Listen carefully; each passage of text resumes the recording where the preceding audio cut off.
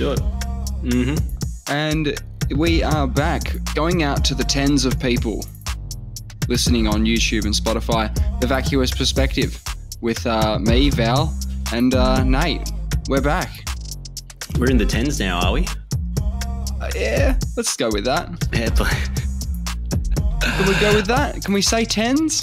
yeah. Let's Maybe do it. ten. Can we go ten? Yeah, let's do it. Let's do it. let's Going do out to the ten people. I don't know if this is good news or bad news, but I didn't think it was possible to do less work for this show than I do Right. on a week to week basis. Yes. But I'm proud to report that Yes. I've done absolutely nothing. Again. Well, sometimes I do something. This time I've done nothing. Right. Well, that should be fine. But I do have something from a few weeks ago that interests me. Uh huh. Uh huh. Oh, it actually brings me to my first point of the the uh, the night. Oh, if you've got something, please. The first point of the night is um, I've been noticing a bit lately that we've been uh, repeating ourselves, not just repeating ourselves on topics here and there, but like entire. Well, Don't tell anyone. I'm, I'm I'm letting the cat out of the bag.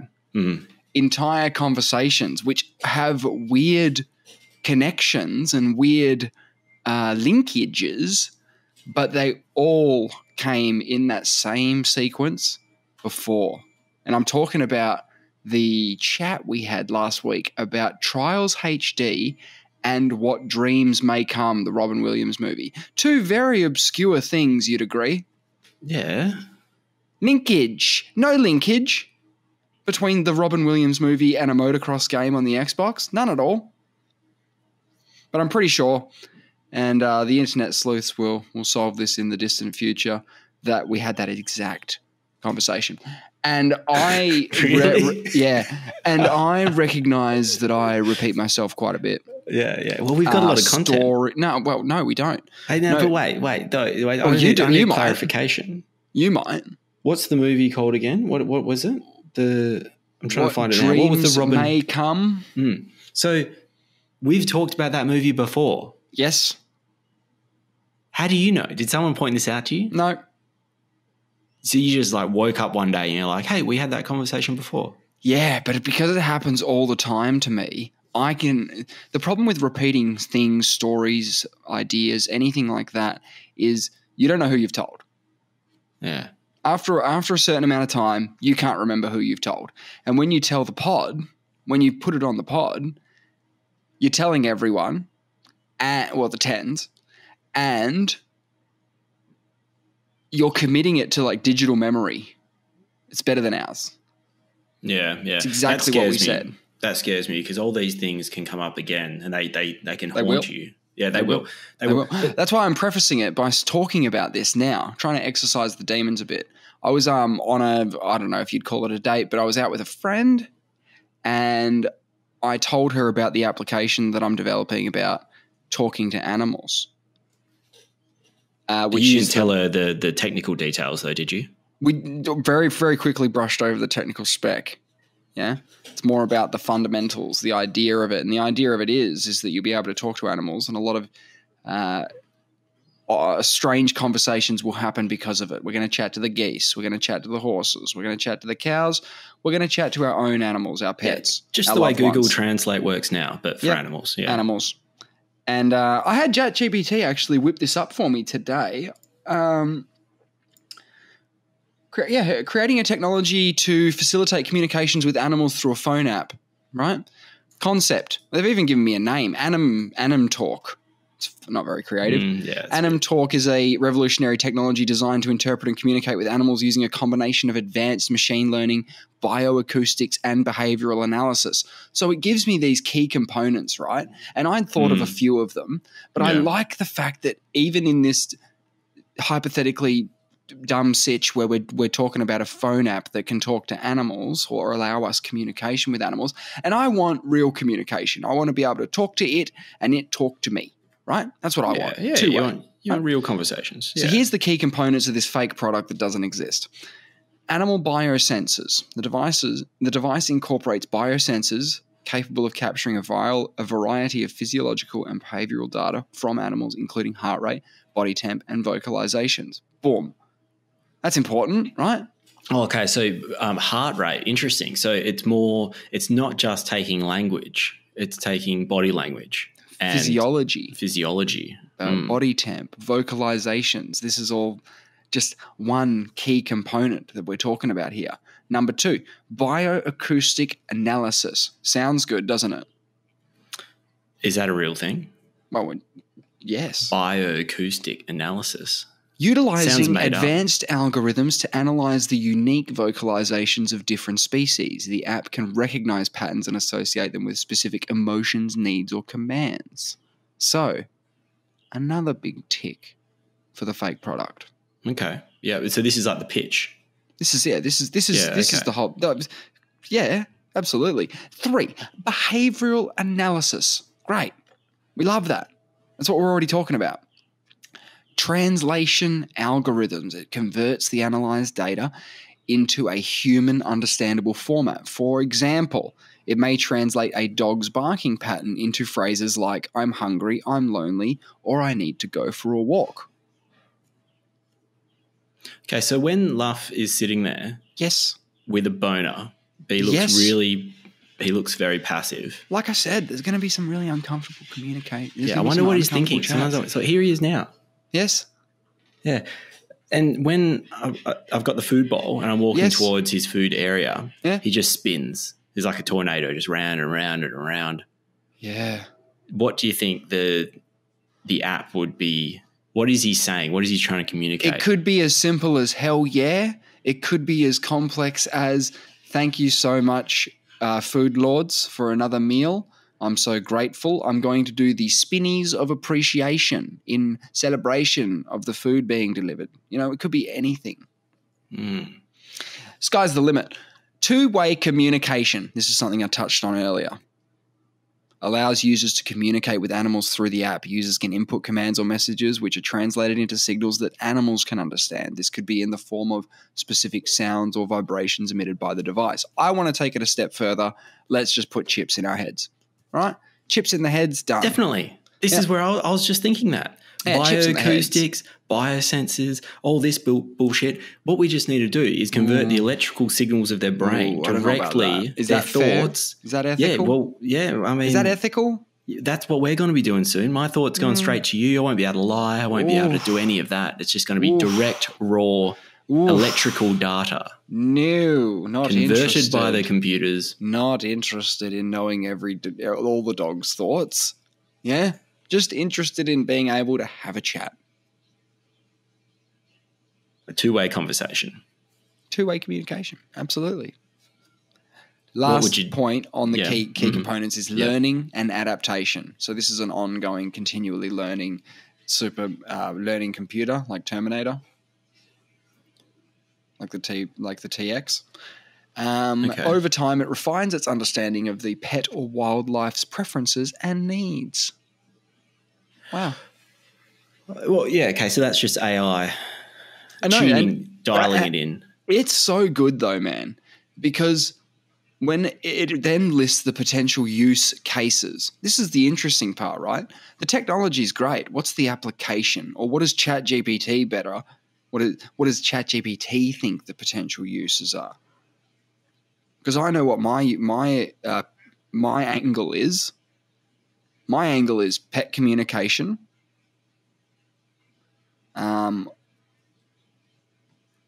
ethi- the ethics involved in farming, wildlife conservation, animal rescue. The, these are your applications. That's what I would think of. Yeah. Okay. Yeah. These are these are the things that I would think about. These are my these are my priorities. What about world domination? Well, yeah.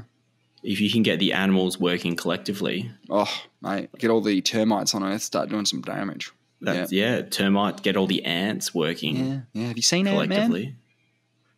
I haven't. I've seen the Honest trailer. That's all I need to see. They do talk to ants. I'm pretty sure in that movie show. Uh, the concept of yeah, they do talk to ants in that. There is communication. So ChatGPT yes, spat yeah. out some potential use cases. Number one, pet communication. Understand and respond to your pet's needs, emotions, and desires. Ah, that might freak. That might worry me though, because Mate, it's better I than really- not knowing. Imagine if you had the ability to know and then you avoided it. You can't do that. yeah, that's what I'm doing now. But once the technology exists, you can't ethically do that. True. Unless you want to take care of your pet. You love it. You Of love course, Luff. of course. If Yeah, of Luff course. said I've got some serious concerns about my living arrangements, he'd listen to him with a, with an honest ear, especially if it was the first time he got to a, to tell you these concerns. And you know, he is a spoiled child, though. well, then that conversation can happen again. These are all these uncomfortable chats that we're going to have with our Mm, animals of the future. okay. Okay. But it's not. It's only going to be for a couple of gens till it's the norm. So they get rights the same as humans, then. Um, well, they have animal rights. Animals have rights. We're gonna have to elevate those, though, if we can communicate with them. Yeah. Absolutely. This is what I'm saying about the potential um, case for it to hit business. Because if we ask the geese if they're okay with having shit jammed down their throats to give them a bad liver so that we can eat it, um, if they're not having a good time, then we need to help it, help help them. All right. Anyway, that the reason I was bringing all that up Mm. is because I told this uh, this friend that about the app, and they said that I that I, that I've already told them about the app. Yeah, you've been telling me about the app f- for a while. This is what I mean. Yeah. But I I mentioned I would have brought it up to her as a new idea uh, multiple times, right? And I said, "Is it three or four times that I've brought it up?"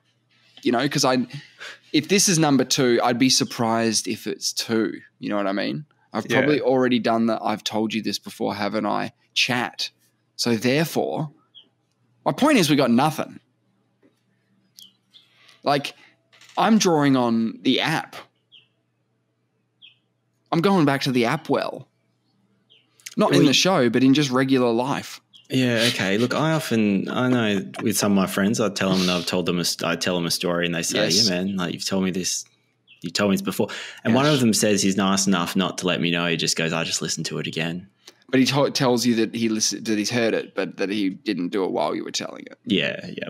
He says he does that quite, no, not regularly, but he, he says he just lets me go. I'm having a good time. I th- if if He's you a good also friend. if yeah, that's really nice. First of all, but if you're also one of those people that forget stuff, and that's why you're being forgiving of people for forgetting stuff, then you know you could always say, "Hey, I do this as well," but you I told you, you've told me this before.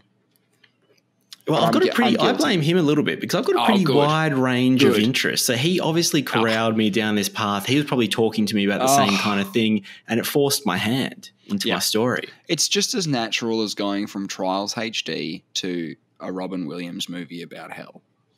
It's about the same. Let's not do it again, though. Well, no, but let's uh, let's just continue as normal, shall we? Yeah. I did. I got ChatGPT to uh, do some other work for me as well. Oh, you're Um, getting it to do work now. Yeah. Yeah. Um, I just was curious as to see where we're at because I view AI as a constantly evolving space, and it's constantly learning all the time. Terrifying. Yeah, it is. It is. Um, What's it learning now?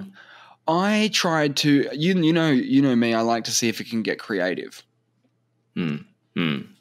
Hmm. I want to see what it can yeah. do. Yeah, in terms of like uh, creating something from stra- scratch that's enjoyable, right? You want So original I works. thought- yeah. I would ask it to be funny.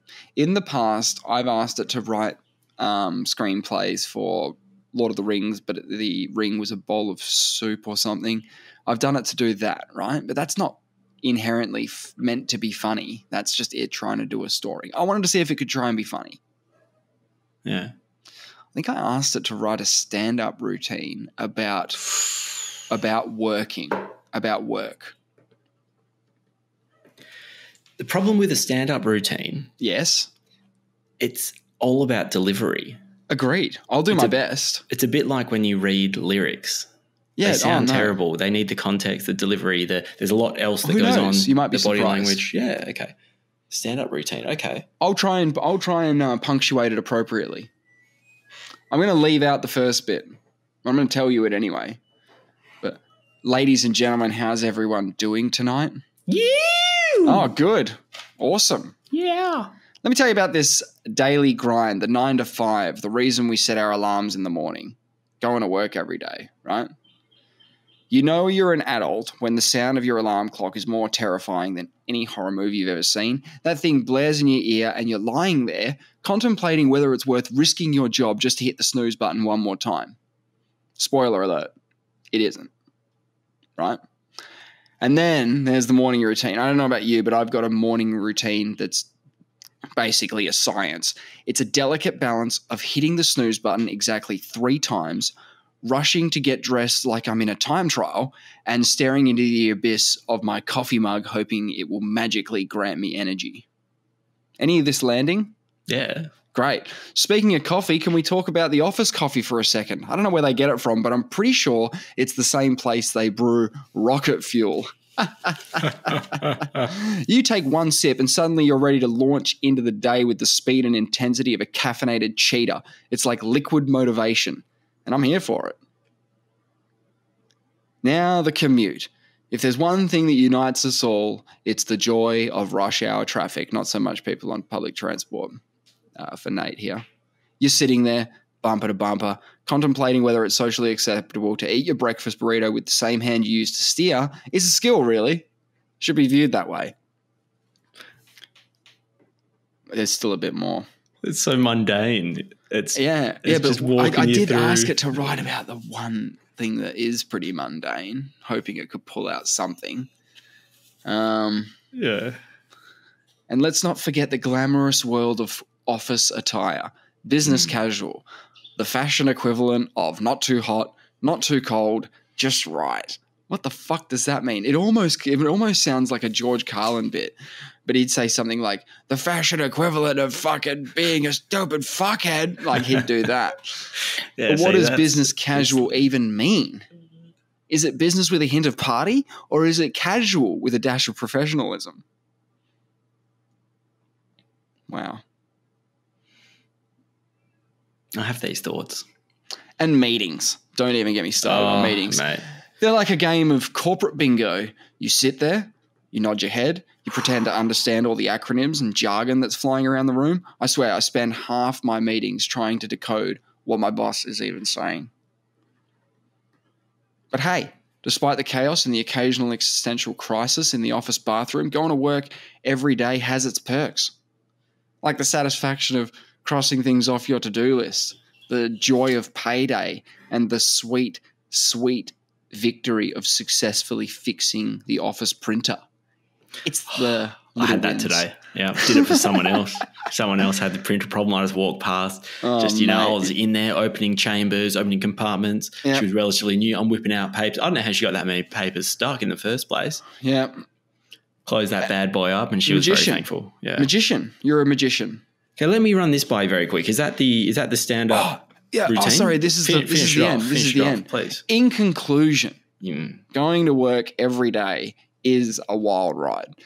It's a roller coaster of emotions, a journey filled with coffee, awkward small talk, and the eternal quest for the perfect work life balance. So here's to all of us, the everyday warriors, navigating the cubicles and conferences rooms, the conference rooms of life. May your coffee be strong, your meetings be short, and your commute be traffic free. That's Wow. a good ending. It's It's actually a a, nice decent ending. message. Nice message, yeah. The wild ride references start I don't know about getting that. my, my juices flowing. Oh, really? Ah, because it sounds like uh, the, the the bit by uh, who is it? Does the wild ride? It's Oh a no, ride. that's the uh, that, that's the. It's just a ride. It's that's just a ride. One. Yeah, The Bill Hicks. Hicks. Oh Yeah, it's man, we should post that. Post a link to that. Yeah, it's a goodie, isn't it? It's a bit, really goodie. It's a bit um, fanciful. I've heard it be called uh, later, but I like fanciful. Perhaps I liked it. I did like it, and the meetings resonate with me a lot. I've been in a lot of meetings, particularly last week, Yes. and it felt like they were actually with government agencies, and they. It's like Utopia with that Yes. Rob Sitch yes. series, the Australian. Often people say like that's not sent up hard enough. I think he meets people who work in government or work in big business or whatever, and they say, uh, "I don't know where you're getting like all your material from, but it's um, it is like that, and sometimes worse." One hundred percent. Oh. I can't believe it. The other day we we're in a meeting, and this guy's saying we need to sit down and have a meeting about what this means. Like we need to actually have a sit down and talk about what this means. Great. I'm looking at him, going like, "Oh, all right. Do you want to talk about it? let's no, let's we're all time. let's do it. Let's do it. We're all No, we're here. going to call a meeting. No, we're going to call a meeting. Call Had a a meeting. First thing on the agenda was discussing when we're going to meet for the next meeting. Right. Have another meeting. I'm like, man, we haven't even done anything. We haven't talked about anything. Uh, but we already need another one. You need to set it up. I'm like, wait, let's let's see if we can deal with it now. Yes. And if we can't, If we don't, let's set up. Let's we set up as many meetings as we meeting. want. Let's set up. Yeah, yeah, yeah. They just talk about meetings. Nothing actually gets done. They go, oh, we're gonna have to. Okay, we're gonna have to break into small groups to. To, to yeah, that's how we'll deal with this problem. We need less people, and I'm like, why did we have so many people to begin with? Why are we meeting? Nothing gets done. yeah. Oh, but you know, this is how it works. This is how it works. Okay, let me run this one by you. You're talking about work. Yeah. Let, let me paint a scenario to you that um, my wife experienced the other day. yeah So she goes into the toilet, Mm. opens the door, lifts the lid, massive floater, Yes. ginormous floater. Yes. Okay. She messages that she just it's too much for her to deal with. She's quite new at her job, so she just closes the lid, moves on to the next one. Right? She's like, "This isn't my problem to deal with.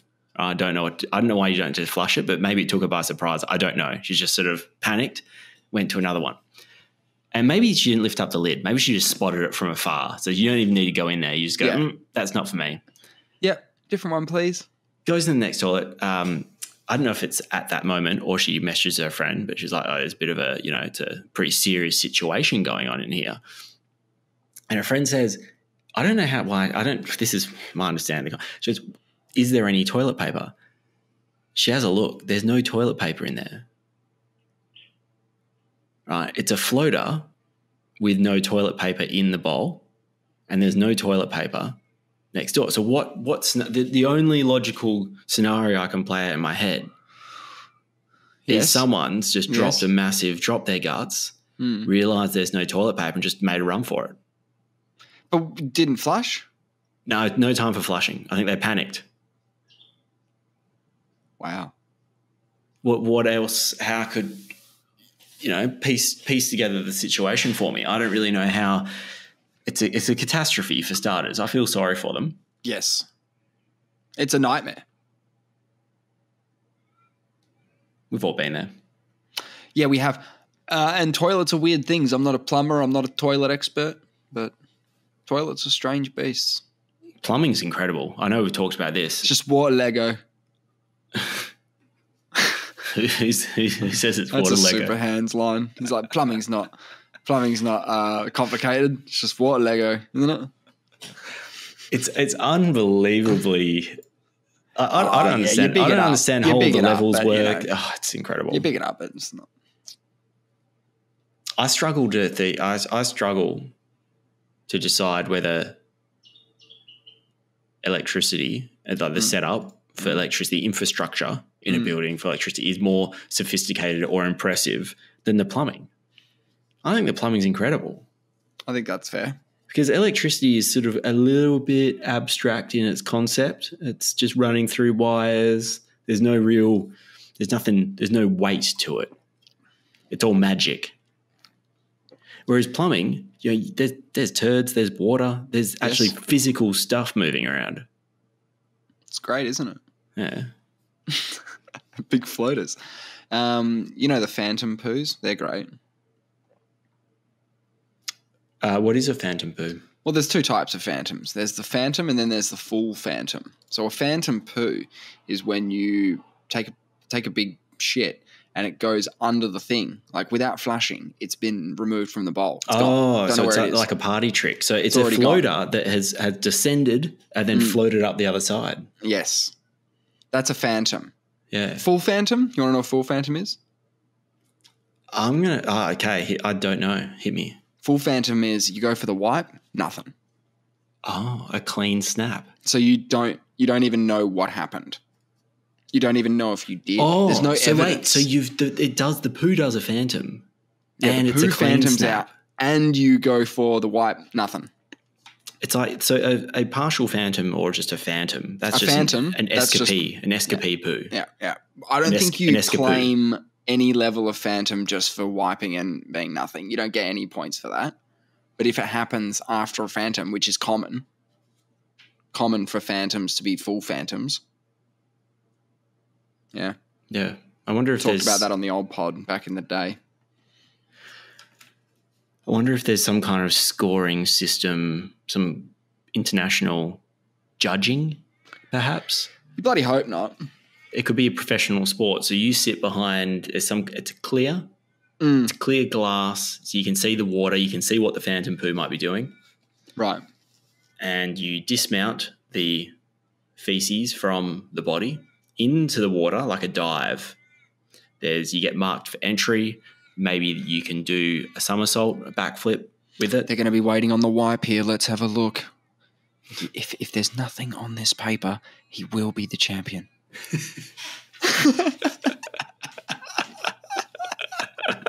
It's like sticking the landing Yeah, it's in it's, gymnastics. um, yeah, yeah. Look, in a weird way, I'd watch that. Can you imagine being a specialty? I don't know what you call it, a pua. It's so crude. There must be a better name for it.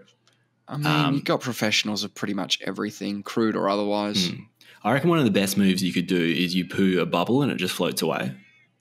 Yeah, or, or poo something sentient that can talk back to you. Mm. That's, That- that's that's that's that's that's cool. uh, that's a high degree of difficulty. yes. I would also think Unfortunately, not impossible. We can't rule it out. We can't. I think doing a poo that has enough friction that it generates fire would also be an impressive move because you got the methane there, you got the blue flame. Bloody hell. Um, It's only a matter of time because you know it's. yeah, yeah, well. Hey, so comedians, you you did your com- comedic performance before. Bravo. Yeah, well, J- Chat GPT did it. yeah. You performed. I just it, read it out. You you gave it the human element that I it did. was lacking. I tried. Saw Carl Barron on the weekend. Did you? Yeah. I think I asked you this question. Did he talk about his family? Yes, he did. Did he talk about his kids? Not a great deal, actually. Does he he talked have about kids? his brother. I don't know. I don't think. I'm trying to think if he talked about his kids at all. Mm, I don't think I recall. He talked about his brother a lot. Talked Okay. about his mum. Talked about okay. his dad. Yeah. No children. Yeah. Okay. He does like to. He's a lot of comedians are going to talk about their childhood, those formative years. It's a. It's a. There's good stuff in there, surely. Yeah, yeah, Um, He was Carl pretty Barron's good. I Family liked him. stuff was always pretty strong. yeah. Um, yeah, you liked it. yeah where was it? it? good. It was at RAC Arena. RAC, yep. So about maybe what 12, 14,000 people, maybe. yeah, it'd be something like that. I don't Or know. did they it- just fill half the arena like they did for CK? I didn't go to CK, but the Yeah, you did. stage was. Did I? Yeah, you did. See, this is one of those situations where I Why have I don't a talk better about memory than you? something. Um, I don't. He We must went not, and saw Louis CK around this time last year with at- with your brother and Yep, and your yep, other yep, brother. Yeah, yep, yeah, everyone was there. yeah. Okay. Whole crew. It didn't. I I don't really remember anything from that. Really, any takeaways? Right, but it was it was sort of only half the arena filled, and then the other side was because the stage was in the middle of what you would call, or just on the other side of the basketball court. So there was a bunch of empty seats behind oh, this was a the sellout, stage. And Yeah, it's his biggest it's- show ever. That's fantastic. Well, that's what he said anyway.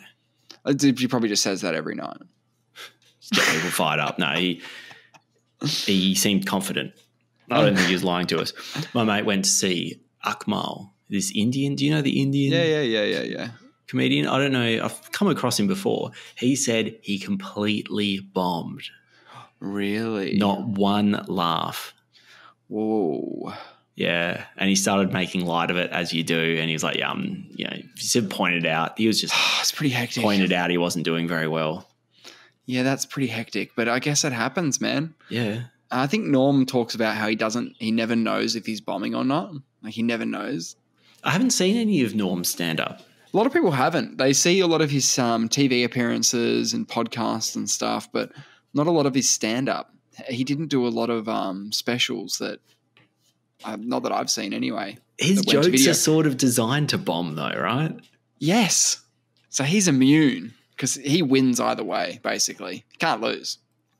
Yeah, his bombs, his jokes bomb so hard that They're funny. they're funny. Yeah. Yeah. And it's pretty standard. Sometimes I don't even know. I don't even get his jokes. I'm like, wow. Then I like them. Sometimes the more I think about it, the better it gets.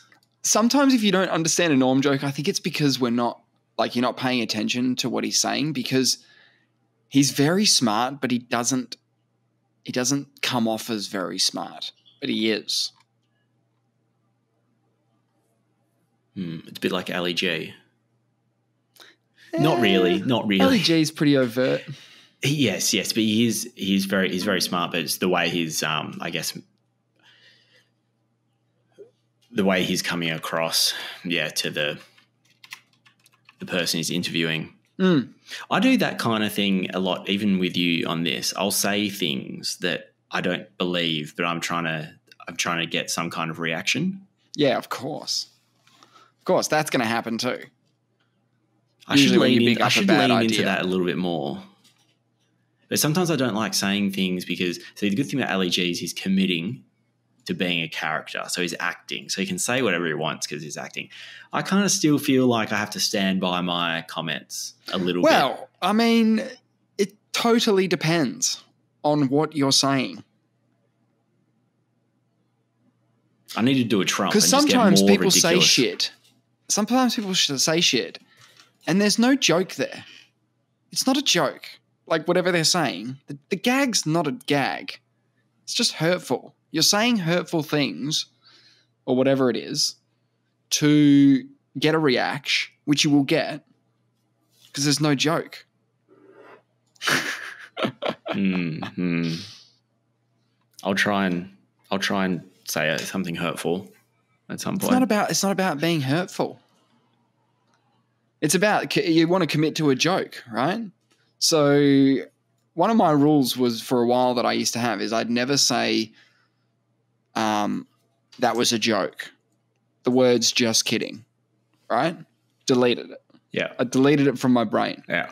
because I'd rather just stare at someone, say something really weird, and then nod after it and really sell it, whatever it is. Yeah, nah, it's fine. Like, it's what I, this is, yeah, it's fine. and if they, if they want to seek clarification, just double down, double it. Okay, I'll keep that And in say, mind. yeah, yeah, yeah, say, say weird shit. Weird shit's great. Yeah, that's one thing. One good thing about uh, being an an an avatar. Yeah, yeah. I don't. I don't. I don't really think about that. I don't really think about that. Do you think about it? You don't, you don't think about that. You just said earlier how you, you feel like you have to be true to yourself, right? Yeah, no, a little Be bit, but honest. yeah, yeah. But I'd, I'd almost prefer to be, um, yeah, a, bit more out there. Even yeah. just say but we're things I not don't going to put a joke on whenever we're going nuts. We'll just go No, nuts. No, it's no, fine. No, no, no. Well, look, did you hear Snoop Dogg gave up smoking? No, that is big news. Did he really? Was it bullshit? It was about a week ago, so it's just after I got off what from like the episode last Nove- week. for the rest of November, maybe? Well, there, he posted something on Instagram or whatever. I only came not came across it on Instagram, just came across the the news article, Sure. and he was claiming to be giving up smoking, which seemed to me to be a complete lie.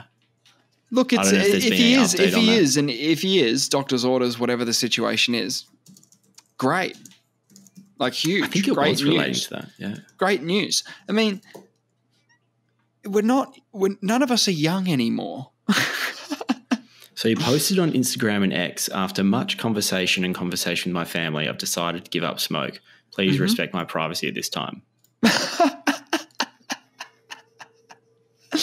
Please respect my privacy at the t- at this time is like when someone dies really close to you and you go please, please just respect my privacy I'm trying to deal with this. He's uh, he's having the death of a good friend. He's dealing with the death of a very good friend of his. His ne- real name is Calvin Broadus. Yeah. I didn't know that. What you thought his name was Snoop? I don't know. Was I don't know. Probably, yeah. I never With really two thought about it. G's. Yeah. Why couldn't he be Snoop Dogg? Well, I don't know. Is Dog a popular surname? There's crazier names than that. But yeah, people change their name to whatever. He's like a personality. Yeah, yeah, fair enough. Fair enough. His, his his legal name is probably Snoop Dogg. So this was 10 days ago, but there's no update. Seven well, days that's ago. That's because Everyone people are mourned- respecting his privacy. Yeah, but they're not actually going to do that. Of course not. They'll have people outside his house, like looking at all of the exhaust Yeah, points, being every- like, "Where's the smoke coming out?" And This is only going to create more controversy. no, no, no. But if he is doing it, and he's doing it for like, like you know, any reason, doesn't matter what the reason is. Good on him. And he said that he talked to his family. Good on him. That's that's pretty good.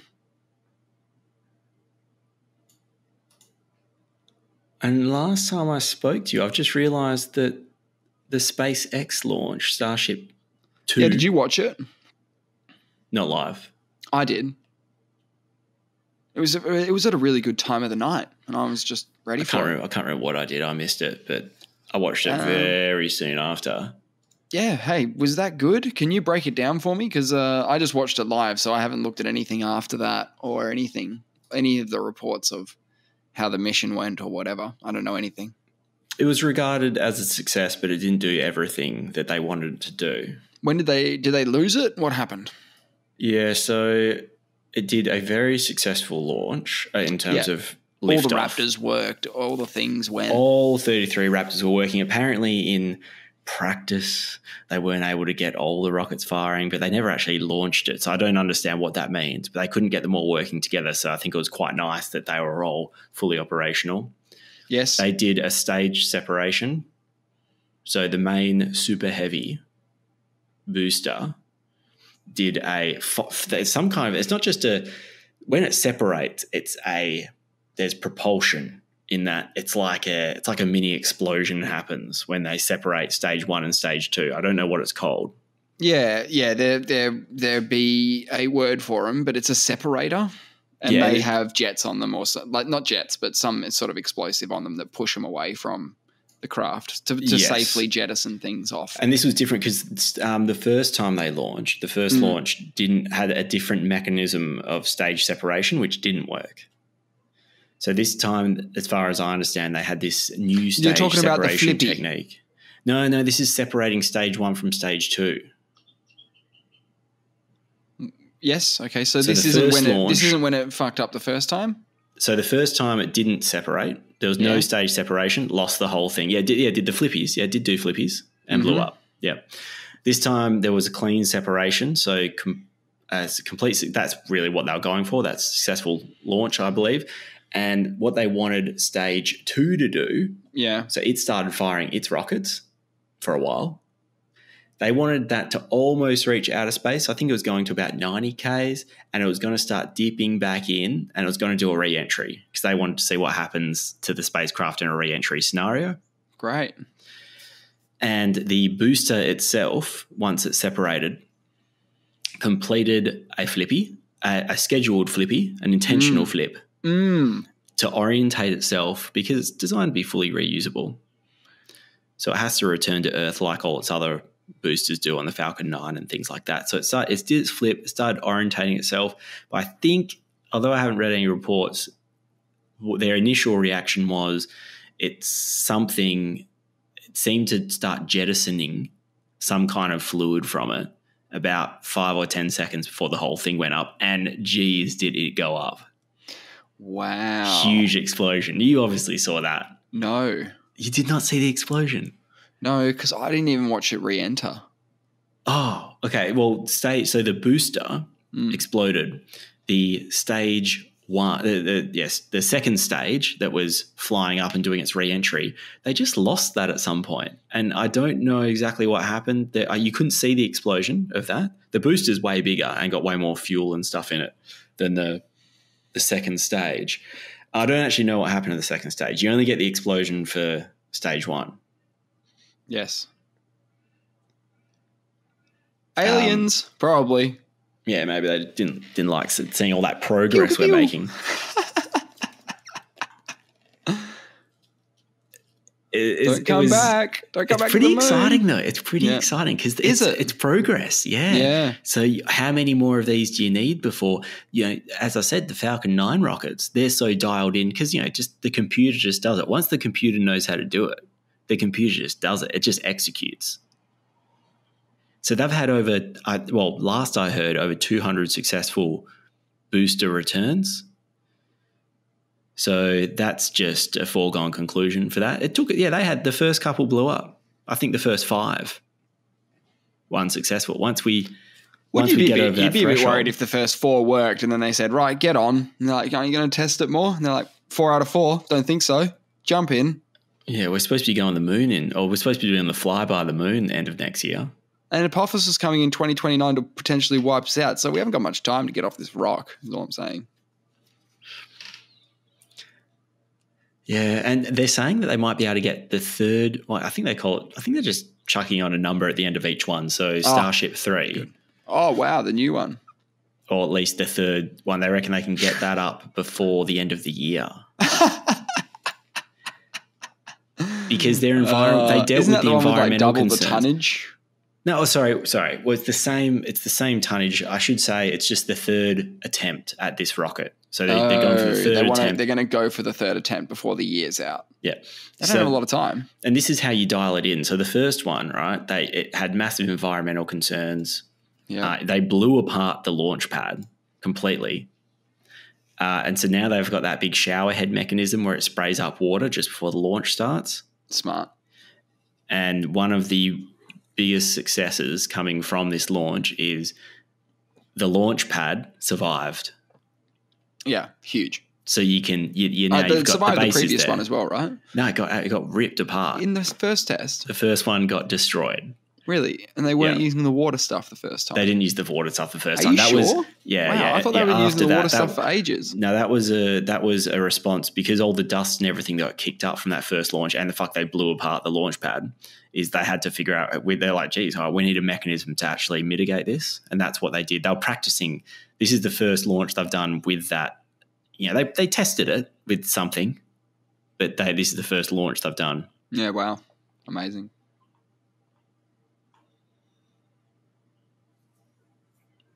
So now we can watch one a month, maybe, What, a launch a month? maybe, yeah. You reckon they're going to get into some sort of like uh, consistent launch sort of uh, cycle?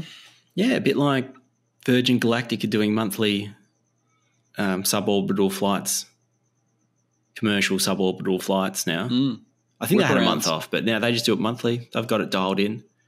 wow. Okay, apparently they're targeting early. So Star, SpaceX is targeting early 2024 for its third test flight. A couple of months or a few months, up to four months. Yeah, well, Musk says it'll be ready in three to four weeks.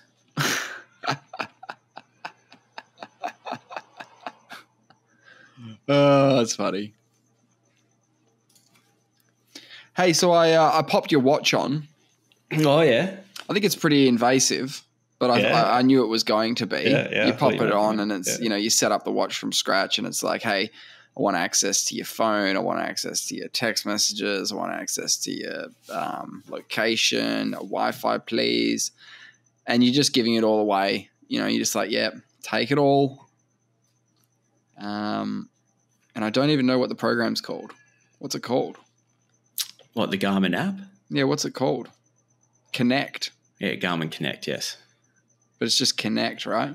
Yeah. Um, so I've got a I've got like a heart rate m- reading here, Yeah. What do you um, but I here? don't have a resting or a high, Oh, okay. so it probably needs more data. Oh wait, it does need Oh, wait, some of these it things is. do need time. Oh, here it is. It says so because I've just popped on the watch like an hour ago. It thinks I'm like doing really good. By the way, like my body batteries are looking amazing for this time of the night. Yeah, okay. What are you on? Fifty-five. Yeah, okay. I'm on 62, which is actually unusually high. 62 Yeah. um stress have you got any stress going can we compare Uh, apps Yeah, okay. Yeah, you got any stress. stress i've got Oh, I'm 67 stresses I'm on 11. 11 Yeah, that this is unusually slow. Uh, low, sorry, because I've had one minute of high today, five minutes of medium, 28 minutes of low, 15 hours, 35 minutes of rest. okay so i don't have any rest data that's probably why it's so stressed out um it doesn't know anything about like because i only just put it on i don't think it knows what i'm doing Yeah, give it time. I've had this seems bullshit to me. I've had some stress. I've got a new watch, by the way, because I got the new watch. yes Got- to give me this one Yeah, so I don't actually know this. Thing, like, I don't know why my body battery is so high from what it normally is, and my stress is unusually low. I mean, I had a very stressful moment at work today, so I don't know why. I had well, it's got so so it's got only hang on thirty nine plus eleven minutes. Uh, that's fifty minutes of data. It's got fifty minutes on me, right? Oh, is that It's all it's got? It's got fifty minutes, and it's like high high stress eleven minutes, medium stress thirty four minutes, low stress five minutes. Yeah, give it some time to dial that in because it's all relative as well. It's all algorithms, and it's relative to what your baseline is. I think. And uh, it's got a resting and a high heart rate there as well. What's your current heart rate? 77, Yeah, I'm 73. 76. Seems, seems about right. Seems about right. Yeah. Do you trust Garmin with your data? Uh, no. I trust Garmin. I don't trust the hackers. You know, Garmin got got hacked. So about two or three years ago, Ga- the Garmin app went went dead. It basically you couldn't couldn't do anything, and everyone was like, Yeah. "Oh, what's going on? There's a bit of an outage." Garmin paid ten mil to the hackers to get access again to to just to fuck them off. Yeah. Yeah, there is talk of making that illegal to pay the hackers because obviously you're just encouraging Yeah. them, right? You're just saying, here's 10 million, spend three of that on some new equipment, upgrade all your shit, and you should be able to get way more. Yeah. So incident of the week. This is a this cybersecurity hub website, and I like it. They have an incident of the week. Garmin pays 10 mil to ransomware hackers who rendered systems useless. Yeah. Wow. Yeah. Scary. But I mean, I've been hacked a million times before. So you know, Optus, I got I got done in the Optus hack. Yeah. I got done in the Latitude 20 hack. Yep. So there's a lot of my information out there on the Getting done. on the dark web. Yeah. Yeah.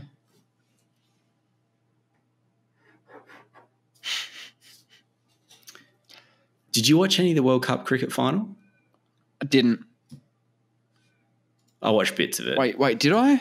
So this is India versus. Yeah, Australia. We were talking about it last uh, we week did in the talk lead-up. about it. Yeah, I know, but we weren't. We, we, we, we weren't that excited. Not really. Um, I think I might have it, had it on in the background, maybe. Yeah. Did you watch it? Yeah, I did, but for some reason I have trouble like getting around the Aussies Oh yeah, you don't like them. a little bit. Yeah. I mean, I think they're pretty easy to hate unless you're Australian. It, yeah, I don't think you're really not a Do you think fan. you would have felt that way if you were an old man in the 2000s era? Uh, uh, that way about the Australian cricket team. Yeah, if you were just like, ah, Brett Lee, hate him. No, I think they, they were. I think they were. They were so dominant. I think it's a bit different. They were so dominant that uh, Brett Lee was okay. You know, Glenn Yeah, McGrath, must- Shane Warne. I don't think you can Yeah. hate those guys too much. Yeah. Like Langer was a good bloke. Hayden was a bit of a bully. Yeah. But what I liked is there was 130,000 Indians just going ape shit. And there was about which that's I wanted I wanted their celebrations and their excitement to continue. Yeah. You wanted them to win. I wanted them to win. I want the home team to win. Yeah. There were like 16 Aussies there. Yeah. And apparently it was just silent in the arena when it was going bad. Yeah. So it just ruined the vibe. Yeah. I reckon Those 16 party Aussies. poopers, like the Australian cricket team, bunch of party poopers. Is that what we're saying? Hmm. I mean, they should have shown some respect for the fans of the game. Well, you can't throw the game if you're going to show respect. Oh, right? you could. can't throw it. You Well, you could. could. Well, you should. Yeah? yeah Is that what we're saying? far. I think they should have. I think they Yes. should have thrown it. Yeah. Do the right thing. but the whole game in jeopardy, yeah, I, I, I like it. I think the Indians should have been allowed to bowl Tampa. Get one back on the Aussies. Oh, what? Bowl tamper. Oh, ball tamper. Right. Yeah, Yeah, absolutely. Absolutely. Do that uh, move where you go to bowl and then you just stump them. Do that one. Oh, I've been man Um, yeah. Do some Bairstow stuff, you know? Do the old just throw it at the wickets from the from the from the keeping position and just hit them? How many Indians do you think live in Australia? Don't know. Um, I don't know. I, I believe it's Maybe- around a mil Yeah. Okay. of our 25, okay. is Just pluck that out of thin air. That that stat. No, I, quite happy with that? I, I was looking into it at one stage because Mm. uh, I, I don't, I just don't know if that's right. Uh, but it's, I know it's, it's decent. It's decent. But what's your point?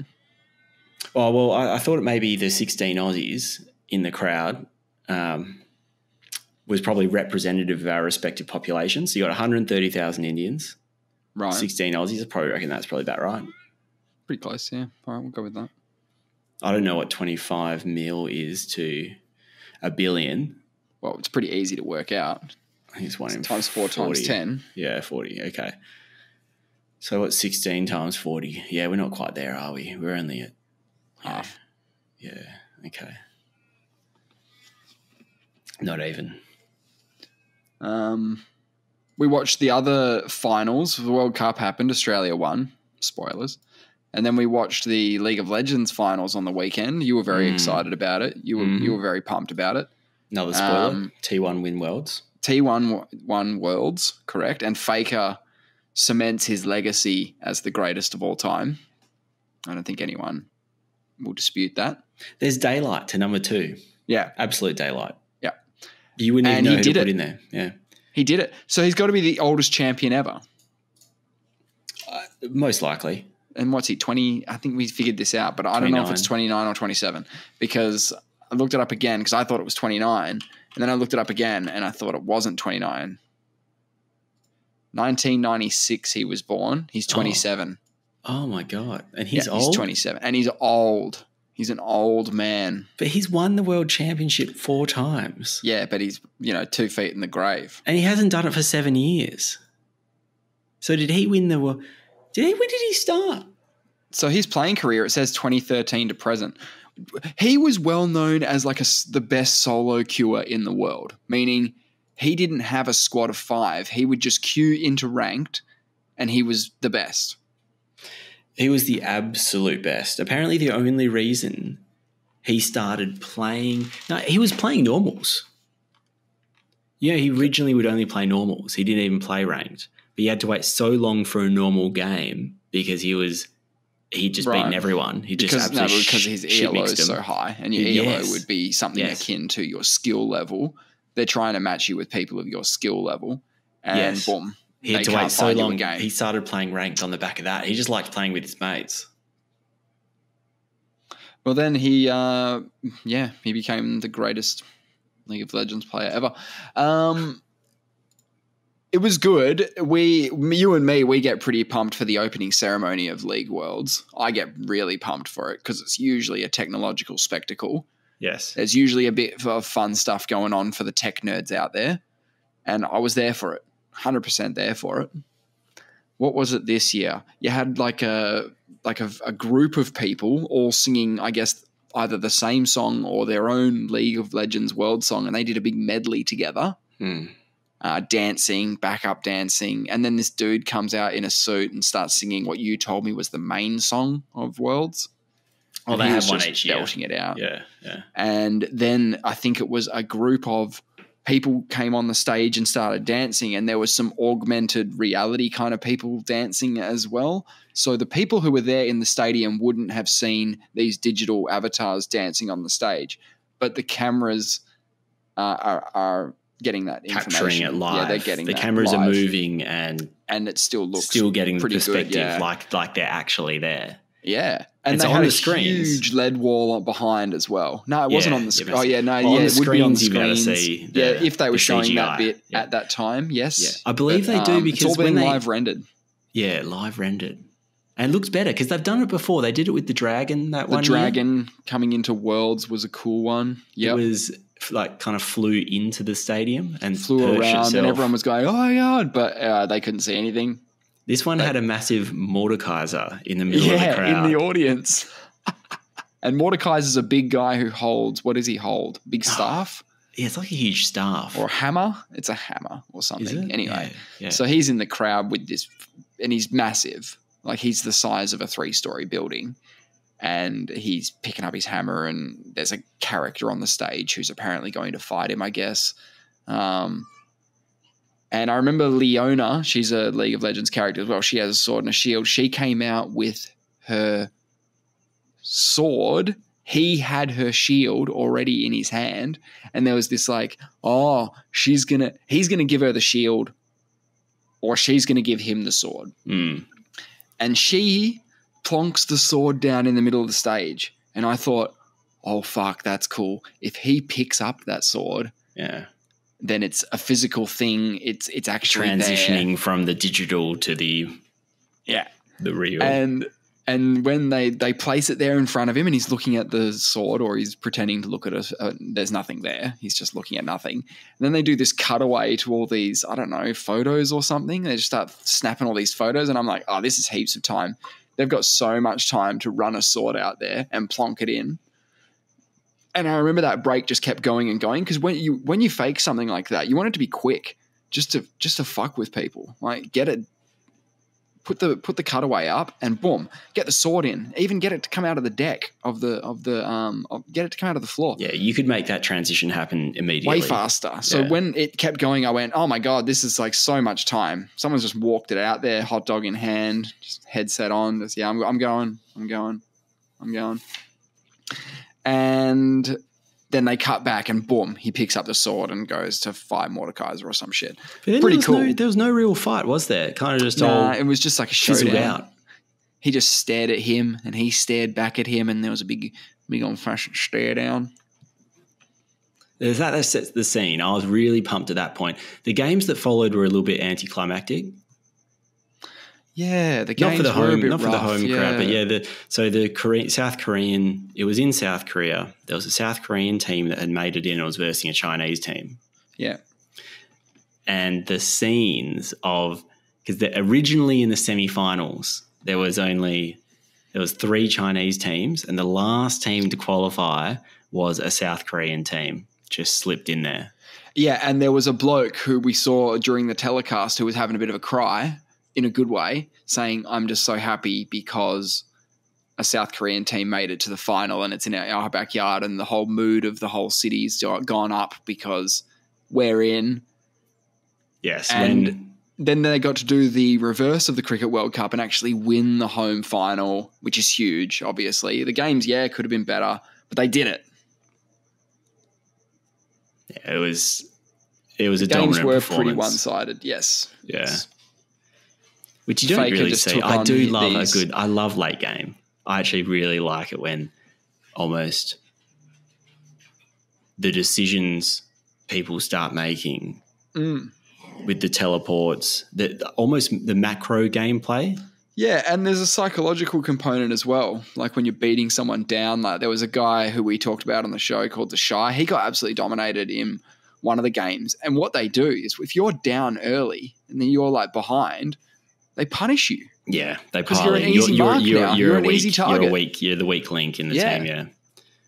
So they just rub your face in the mud. Yeah, and they kind of have to, otherwise they're giving up a competitive edge. And at the pro level, you can't give up a competitive edge.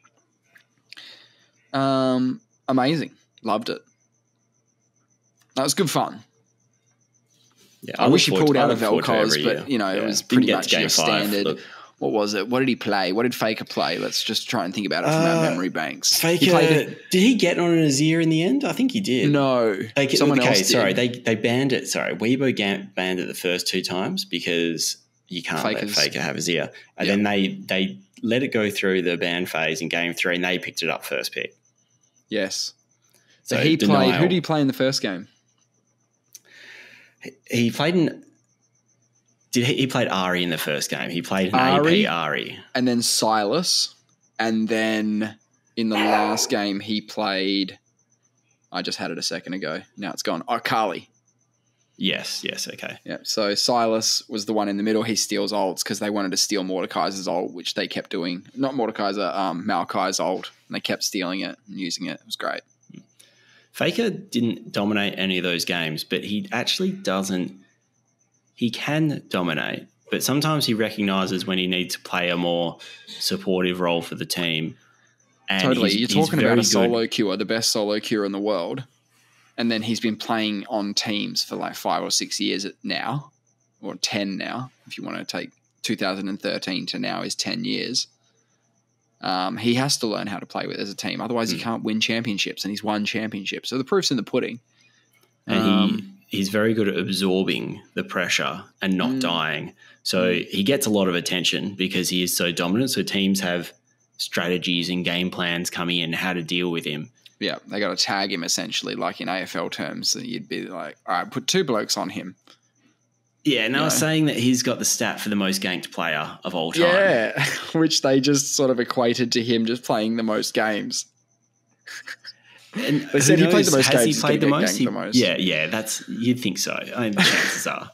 Yeah, I think they did say uh, because some of the kids who are in Faker's team, even they look they look very young. Mhm. They they they haven't been playing League of Legends as long as Faker has, obviously. No.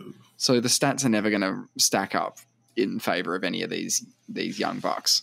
Um, and there was that one kid. Um, they pronounced it Zeus, right?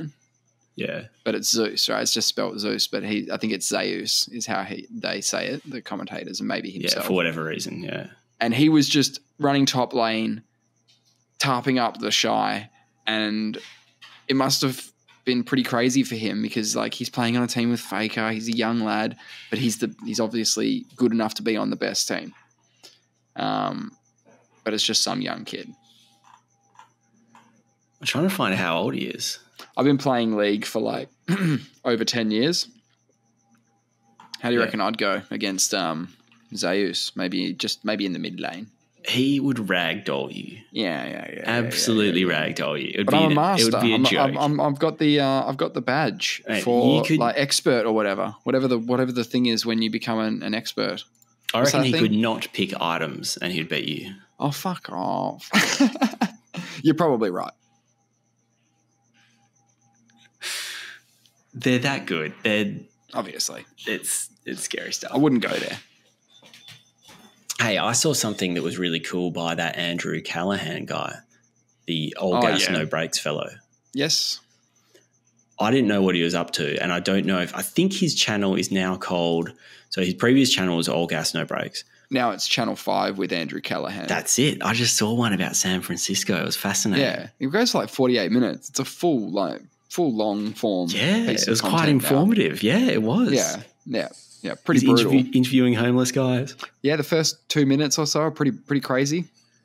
He caught a like instantly, carjacking someone just yeah, instantly they just see a carjack, and you know people Yeah, just on camera. smoking shit. He's, he's running along interviewing the victim who's chasing Yeah. his car yeah, as it's and being the carjacked. night, and then got on the nightly news because he was chasing the guy, asking him what's going on. The guy's jacked his car. I think he was an Uber driver. He's gone in to deliver the food. He's left his car running, and someone's just gone in and got it taken off with it. Just they were driving in the it. wrong direction. Yeah, they were just reversing down the street at high speed. Um, yeah, yeah. Andrew's doing stuff again. Because I've heard that it's a bit of a zombie apocalypse in San Fran, but I didn't really know the extent or the truth behind it. Sure, but we're not going to learn um, everything from Channel Five, and we're not going to No, learn no, everything from insight. the other things. No, but you're like seeing the- you're seeing people on the ground. Like it's actually it's not just it's not a headline or I'm not no, saying it's just people biased. talking. Yeah, Yeah, it's like so you actually get to see some footage of what's actually going on. sure, but In it, one part like of San every Fran. media is um, crafted. Like a documentary is crafted. Yeah, hundred he's still doing hundred his percent. craft. Yeah, but you, yeah, Um, he interviews. Um, so you get some different people. Like you got uh, some people that help homeless people. Um, he interviews some uh, security or police. Um, so you get so a few different perspectives. Yeah, he can curate it any way he wants, but the reality is those conversations still happened. Yeah, absolutely. And what they were saying um, is they were talking about the tech companies that are pulling out of San Fran, and they and by analogy talk about how it's the same way the car companies were pulling out from Detroit. Yeah, fair enough. So they're saying that some of the, at least, you know, this example they gave, someone gave, is that this one company had four buildings in San Fran, and now they only have one floor. Yep. And that downsizing after COVID, right? Even at my work, we we've lost way more people that work from home, and we're not a tech company. Mm, Imagine how much more the COVID work from home, um, sort of the ability to to have meetings on Teams and things like that would affect tech companies. Absolutely, it would. And so Absolutely, it would. someone though. gave some stats. They were saying that it's not just um, poor people doing uh, drugs in in in San Fran. Like it's not just it's not just homeless people. I don't know. Yeah, makes Uh, sense. people have been, I believe, some of them moved there, but they're saying seventy three. This was the stat someone gave that they did some statistics. Who knows if they're bullshit or not? They're saying seventy three percent of the homeless people were previously employed, uh, janitors and things. All the all those type of people that support the the, the businesses that were previously running from these buildings, Sure. and there's just no jobs anymore because like for every job that's created in the, you know, someone who lives there and, and goes to the city and works and whatnot, they have all that spin off spin off work created um, by them just being there. But um, they just live elsewhere and you know dial in. of course. I'd like to see where San Fran ends up. Um, well, it depends on how bad it gets, I guess. Yeah, As in, if the tech companies continue to move out, they have a similar thing to Detroit. It, Yeah. it's pretty bad. I've never seen Detroit in its heyday, so I only know rubbish Detroit. When was its heyday? Like when all the Ford, like when all the factories Uh, were there yeah, I making cars. like they were building cars say there. like sixties, seventies. yeah, That's a guess. yeah, before our time. Yes. But I, not by want much. to watch some more. Uh, Not by much though. And um, you know, let's not forget that in the grand scheme of time, you know, aren't we closer to the pyramids? No, we're closer to fucking Cleopatra. We're as close to Cleopatra in the timeline as Cleopatra is to the pyramids. Yeah, stuff like that. That's fucking weird. I don't know why that came into my head. That is fucking weird. Okay, so this is the one, uh, the one thing I was looking at a few weeks ago that I've never talked about that I think is appropriate now.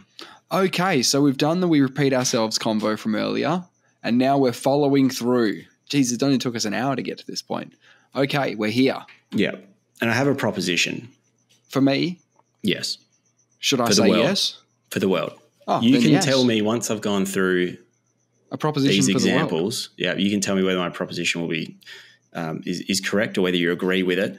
And it is that when they, future people, look back through the annals of history, The anals, yes. the annals, they'll be focused on Western Australia's human-made wonders.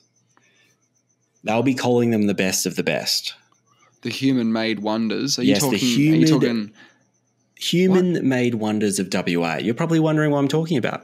a little bit? But um, are you talking about wonders as in wonders of the world? Like, are we talking um, Yes, Great yes. Pyramids?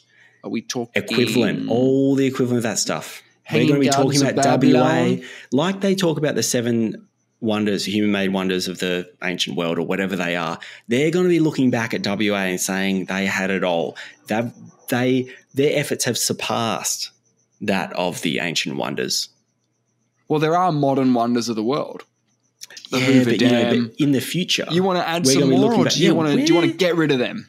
When they look back through the annals of history, Yes, these are the ones they'll remember. oh boy, Let the me just bell pull tower. up them. Let me just. let me just. Yeah, yeah, yeah. Let me just pull up the modern wonders of the world so I can compare what we're Yeah. dealing with here. Number one, go for it. Okay, we got the bell tower. Have you been to the bell tower? Uh, yes. Have you? Oh, Have you been in well, it? I've I've seen it. Yeah, I've seen it. Have you been in it though? I haven't, but I know Neither what's I. in there. There's a bell in there. A bell. Big bell. Okay, it houses the twelve bells from London, London St Martin in the Fields Church, Great. We got them, do we? along with the Anzac bell. That's another one. That's 13 bells. 13 bells. Uh, it's regarded as Hmm. the largest, one of the largest musical instruments in the world.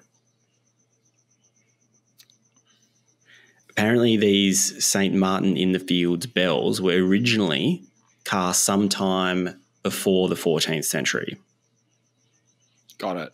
And the Anzac bell is the largest of its kind ever made in Australia and was cast in Perth. And we've got it. We've got it. And that shits on. Well, that's just one thing. It's That's one We have. Let's just say it. Let's just say it's the largest musical instrument in the world. All right. Let's just say it. Can we say that? Well, it's considered one of, so we can say it, right? Because we're Oh, talking it's it considered one of them. Yeah. And you oh, know, it's, yes. and we got bells in it that are like you know four times as old as Australia. Right. So it's a big, it's a big deal. Now you It's want to a compare huge that. deal. So now let's compare that to the wonder of the ancient world. What are we up against? No, sorry, I got rid of the ancient world because that's not fair. We're doing the new seven wonders of the world. Yeah, but if we want compar- for comparative purposes, We're doing it for comparison. yeah. Okay. Well, How does that stack up against something like Chichen Itza? that fucks it, destroys it. Uh, it My opinion. does. Yeah, largest, probably does. largest musical instrument in the world. Have you got what's any Chichen- more? what's Chichen Itza done for me lately? It's pretty old. It's not that old. All right, we'll focus on the WA ones to prove my point. Yes, okay, but that's interesting. one? Yeah, okay. We have the uh, WA Boola Bardip Museum. Wow, we got that as well, do we? Yeah, we do, we do. And you like that one, do you? Well, look, if I it sounds more impressive if I read what it says here. This monumental project incorporated five heritage buildings that needed to be restored and stitched together. Uh, it had more than 3,300 workers involved in its construction. How many workers were involved in the in the um, Great Wall of China? Oh, thousands. I think even more. It'll be, it's such an obscene number. Okay, so 300,000 say on my soldiers and 500,000 common people. That's how many it costs. Because do you know every family had to send their oldest born son to work on the Great Wall, Makes sense. and hundred thousand people. Oh wait, how many people died? Or some experts estimated it was twenty percent of the country's population, nearly one million people, back in the day. Yeah, work began in the 7th century BC and continued for two millennia. That's 2,000 years of building. We just can't fathom those kinds of numbers. No, we can't. But what I'm saying is the. Boulevard is right up Yep. there. It Oh, says here that. one of the most significant museum redevelopments in the world. Wow. So I didn't know that. again, because it's it. one I've of the seen it. most, let's just go that extra step further and let's just say it's the most significant Whoa. museum redevelopment in the world. Uh, that- Arguably that it is. Arguably yeah, it is. I think it is. Yep. Okay, number three. What are we up against? What's the second? Great Wall of China. Great, okay, great. It's comparative, comparative. Okay, rock art, the Burrup Peninsula. The Okay. Burrup Peninsula, I don't know where that is. Where's that? Yep. I think that's up Presumably north up of north. Broome. Yep. I think that's the Burrup Peninsula. Yep. It has more rock art at the one site than any other place in the world. Wow. Being dated back to the last ice age, it's five times older than Egypt's pyramids. That that is that is a good one, isn't it? It's a That good is- one. that is It's a good. good one. What are we up against? What are we comparing that to? Uh, Petra. This is the ancient city of Petra in Jordan. Rubbish. Rubbish. Throw it out. Yeah, Don't. and final scene of the Indiana Jones and the rated and the the uh, the Last Crusade. Ah, not important. Get to the Barra Peninsula. Yep. Get up there. Okay, number four, the Busselton Jetty. Oh, jeez, what a wonder. Officially the Yeah. longest Yep. timber pile jetty in the Yep. southern hemisphere. In the southern hemisphere, of which twenty percent of the world's population lives. Shh, shh, shh. Right. No, no, and all the best stuff's down here, obviously. And it's got an underwater observatory at the end of it, which is Ah. one of only six in the world. Wow. I think it's just a jetty, a, a observatory at the end of a jetty. Maybe people just don't really care for them. And that shit's on Machu Picchu. Is that what we're saying? Oh, well, I mean, obviously, it's one of six in the world, mate. And it's the longest timber. Pile jetty in the southern hemisphere. We probably don't make jetties out of timber anymore. It's probably the longest in the world. Can we say just that? let, we can say that. Yeah, we can say that. in the world. Busselton Jetty. Next. Okay, the Harold Holt Naval Communications Towers in Exmouth. Uh, yeah, are we allowed to go see them? I thought they were more. Um, Well, you can look at them from government. afar, but you can look at them from afar, yeah, but and they're and they are 300 impressive to look at, aren't they? 387 meters tall. Yeah, that is pretty tall. The most powerful transmission station in the southern hemisphere, but in, the world, In the world. and so, what's Yep. that up against? Christ the Redeemer. Please. Okay. And then Great. we've got the Golden Pipeline. I didn't know it was called this, Wow, I didn't know that either. but it was an ambitious 560 kilometre pipeline from Mundaring Weir to Kalgoorlie. Considered a scheme of madness by the Yes. naysayers. Yes. It was built mm, 120 years ago. Now, the epic length of steel pipe carries billions of litres of waters annually. Okay, I don't really have any, I don't know how that compares to other pipes, but let's just pretend The biggest, the best in the world. decent. Yeah, we have to talk it up somehow. Yep. They said we couldn't do it. That's the point. They Right. said it couldn't be done, Yes, that is impressive. but we did it. Yes. So the Colosseum, by comparison, was is a building in Rome. It was built in the first century by order of Emperor Vespasian. Right. It's a feat of engineering. They're saying. Yeah, but can it transport water? No, it's just an amphitheater and features a complex system of vaults. Probably And they keep the probably thought in. they could do it. They could probably just do it again. They probably had multiple Colosseums, and that's just the one that's left over. Are there any big numbers in the the thing about the uh, the Mundaring, the Golden Trail thing, the, The Golden, Golden? Pipeline. Um, Is there any is there any big numbers that you can read out? what, volumes of water? Something, Um, just something a big number. Any big numbers? Let me give you some numbers on it. Because I'm going to give you some numbers about the Colosseum, but I want numbers. The We bigger can the better, compare because it is Bigger an apples apples to apples comparison as well. Pipelines to exactly, Colosseums. Exactly, exactly, exactly.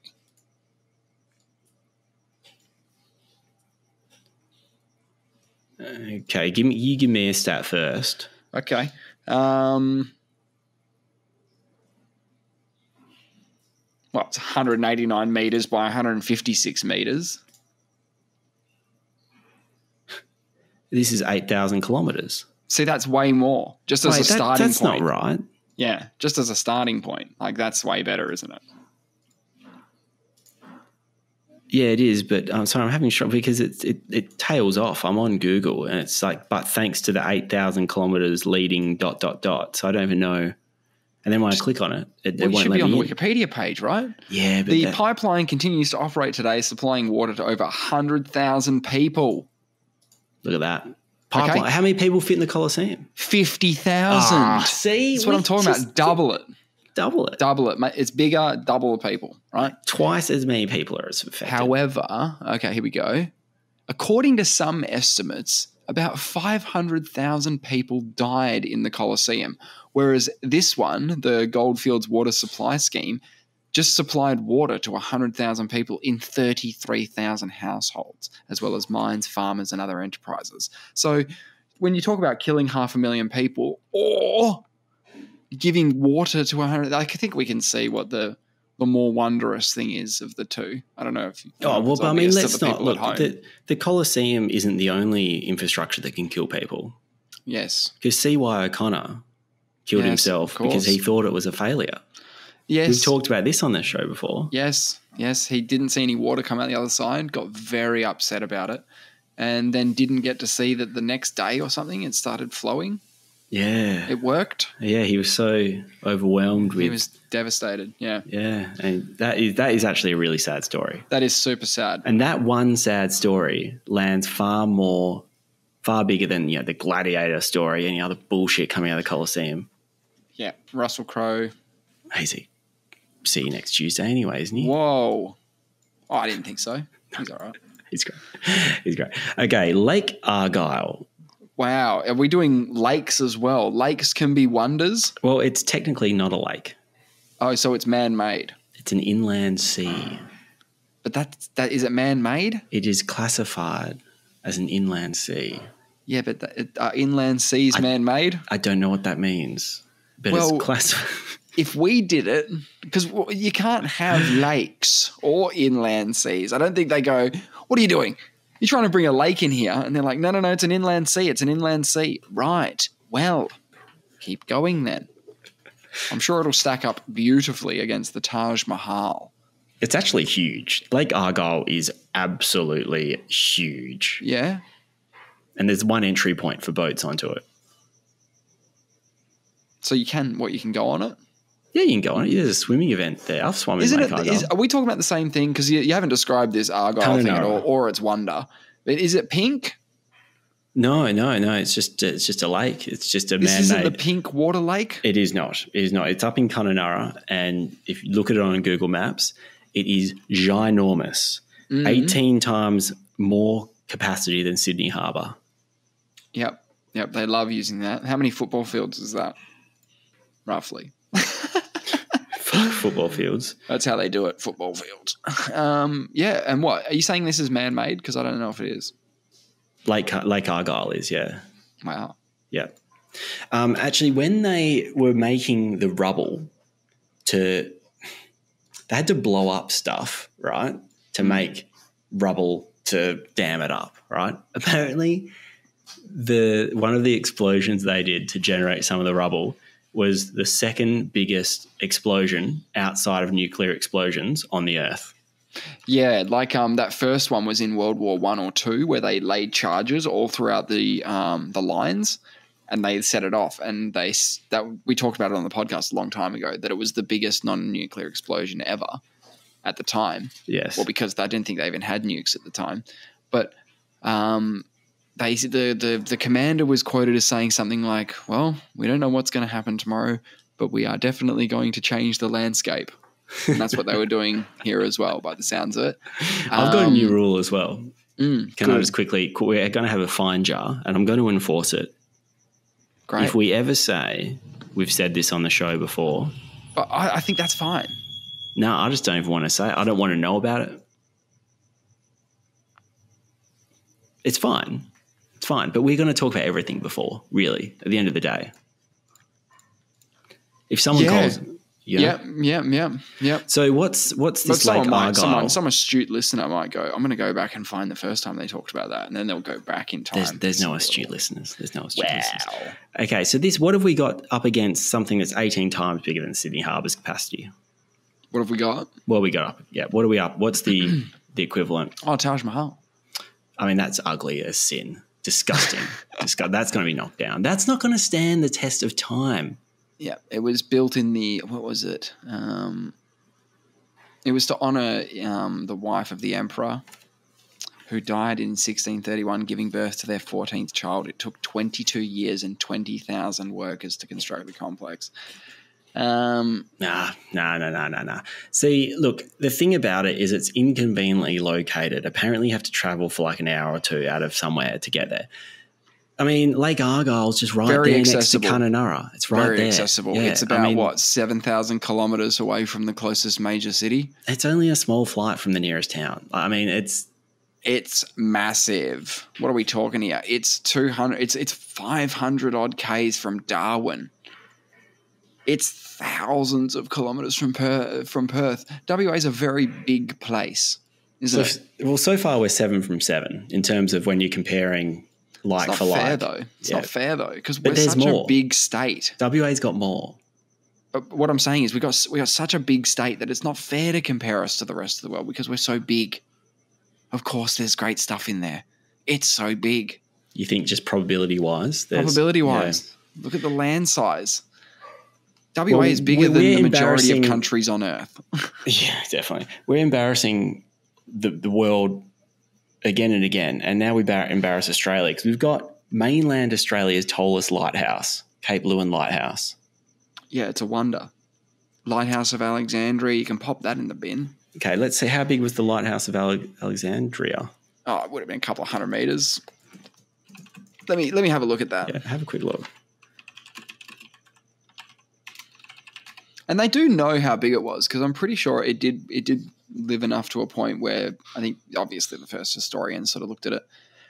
Constructed between 284 and 246 BC, height 103 meters to 118 meters, so somewhere in the middle. Uh, what was it? Sorry. 119. We'll give it the benefit of the doubt. 118 meters. Okay. Okay. Well, this only has 186 steps apparently, so I'm quite worried about its height. Mm, Well, we didn't need the step count. I don't think we can go. It's only 39 meters. What are you talking about? Cape Leeuwin Lighthouse. Yeah, but the Lighthouse of Alexandria is an ancient wonder of the world. Oh, yeah. They probably actually don't really know how tall it is either. I mean, that's just a guess. Well, it says between 103 and 118. They're pretty firm on that. Mm, yeah, but did it have 186 steps? Because that's like an important number. So some would say. It's 100 years old as well. Imagine, yeah, we could, yeah. Anyway, it's impressive. It's impressive. Let's just, It's one of the best. It's one of the best lighthouses going. okay, we got the Wellington Dam mural in Collie, 8,000 square meters of dam wall, big mega mural. No other dam side mural comes close to the size of this one, making it the largest of its kind in the world. Okay. That is pretty exciting. So, what you're saying is bin all the wonders because it's just out, it's just outside. All which wonders? All of them. Just bin them all. Put them in the bin. Well, Because yeah. WA has got it on lockdown. And yeah, that this is the proposition that when they look back through the annals of history, they're going to be Yes. looking at Western Australia's human-made wonders as the best of the best because we Wow. have the Yeah. largest dam mural in the world. We have the largest lighthouse in mainland Australia. We have a lake that's 18 times bigger than Sydney Harbour's capacity. We've got the Golden Pipeline Good luck murdering people. any of this. Like We've got the up. most powerful transmission station Huh? in the world. in the Wait, world. In the world. We've got the longest timber pile jetty in not the even world. close.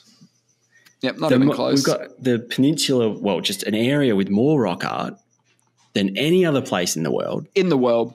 back to five times as old as Egypt's pyramids In the world. in the world. The most significant museum redevelopment Ever. in the world. Of all time. That's wavy. and we have the largest musical instrument In the world. in the world. so what what don't we have? How is tourism not How do they have any popular? problems? Is that what you're talking about? How, why aren't people just rushing? Yeah. Day day one, bell tower, tick. Day two, museum, tick. You know what We're we need to do? we're on day three, and we've seen two of the most Nah, fuck them. things Fuck in them. the whole world. We're, we're not going to let them in anymore. Keeping it. We can close this state off as well. We've done it before. We'll do it again. Wow, you want to go that road? Yeah, yeah. What do you think the people here are going to appreciate? We're Perth? I not think that's something we're famously state. bad at. We're not called the hermit state for nothing. That's right. They're jealous. and we're gonna have we're gonna be the home of the longest podcast in the world. Well, the world record for long, or, or do you mean what are you talking about? Yeah, actually, I was talking about the world record, the, the longest podcast. Yeah. Yeah, yeah, yeah. All we have to do is 57 hours unless we don't do it quick enough and someone else does it and then we have to do whatever the fuck they did. Plus, Ah, See, we need to do it soon. Hey, that's what I mean, man. Like, but I, I, I think you're completely underestimating how hard this is. I think it will be the hardest thing you ever did. bro. Someone cooked for hundred hours. I know, but I think they would have practiced for it. All I'm saying is we're actually we only need to do 55 and a half hours right now. If you I know, what. I'm saying. I know, I know how it works. I'm just, uh, w- eh, would you be happy with 55 hours? Would you want to do 56, 57, 60? Get that crack 60? I don't could know. clear my schedule. We get, we got to clear a month for that shit, man. I reckon we should need- do it spontaneously as well. I need years to recover. No, I reckon we just go for it. Look, there's a, I'm like, you seem pretty keen. I think I could do it. I'm not saying it's easy. No, but what percentage, like, if if I was keen, would you do it? Yeah, all we have to do is commit. Well, so it's on me then. uh, okay, well, not 100%. No, Because I got to say, I'm a 50 50 at best. Meaning, like, if you flipped a coin and you said, if it's heads, I'm keen, and tails, I'm not keen. And I flipped a coin and said, if it's heads, I'm keen, and tails, I'm not keen. And we both landed on heads, we're doing it. That's how I feel about it. So if you flip a coin and it's Uh, on yeah. heads, I flip a coin, it's on heads, Yeah, then we're doing yeah. it. Yeah. Look, I get a coin? Okay, but do you believe me? I'll, I'll be truthful. Oh, I don't have a coin on me. I'll be truthful. I can flip your coin. Okay, all right. trust me. Yeah, I trust you. Okay. Just, just be honest, because to be honest, Of if we do even get two heads, we probably won't do it anyway. But it, it could be a sign. Uh, I'm going to flip the first coin. This is Let- going to be. end Do you the want this to be mine or your coin? Uh, make it mine. All right. Well, We'll flip a coin to decide who goes first. No, it doesn't matter. You're first. This is your coin. I'm flipping it. Yeah. All right. It's tails. Okay. Well, that's Now that just means you're not keen. I'm going to flip my coin. Okay, that was a no roll. It fell on the floor. Honestly, doing another one, it's heads. it's your cane. So we got I'm a not head- keen. Wow, we we, got of heads and a tail. switched. Yeah, look, I'm keen. I think we should do it. We honestly, we need to do it now. These records are only going to get more and more impossible. This is your chance. I'm never going to set a world record for anything. This Yeah, is man. this is jam. This is money for jam. I'm just saying. Again, not easy comparing it to all the other world records, like longest toenails and shit. You know, people have all those really long toenails and long fingernails. I'm well, you never know going to be said that if person. I'm keen and you're keen, we'll do it. yeah, Well, I've flipped the coin. we'll It's just have to set up with No, snacks. so Oh, I'm so you're keen. keen, so it's on me now. Now it's on you now. Uh, I'll think about it. It'll be some All right. homework All right, homework but for uh, next next week. week. I get to flip the coin again. until until we're both keen. Um, now we could we could actually do it. Here's what I'd want to do if we were going to do it. Right? Yeah. I'd want um, I'd want six or seven people ready to go to help us. Yeah. A guest Yes. would come in Yeah. Okay. for like let's just say they can come in for a couple of hours if they want, Yeah. Okay. or a few hours if they want. yeah. minimum one hour, and we need seven people who can provide us a minimum of one hour. And I think we know seven people who can do that, Yeah. who'd be keen. Mm. And if they want to hang around and help us, as in if they, uh, if they're two hours in and they're still going and they're happy and whatnot, hey, you stay for as long as you want because We we are out to- here for yeah, 60 yeah, hours yeah. to get just me and you. Yeah. So I'm not saying I'd get sick of you. Yeah. I'm not sick of you. But 60 hours, it could be our last episode ever. Well, we'll definitely repeat some things. Oh, yeah. We'll talk about some things we've talked about before. Anyway, we need to wrap this up. Yeah, we do. Yeah, we'll But do that because we're not doing the sixty-hour podcast now. So We're just talking about it. Yeah, Unless about you want to start it now. You said you wanted to be spontaneous. Yeah, well, we could just start now. We're sort of We halfway could just there. keep going, keep recording. we are halfway there, aren't we? No, we're we're no, not really. No, but we're getting closer. Is what I'm saying. Oh, we're getting close with every second, but Oh, no, we're not doing it now. The longer it We'll goes, see you the next harder time. it is to stop. Um, we're going to stop. Hit us up on the email. If you want us to do the world record, just give us a bit of encouragement. We'll probably do it.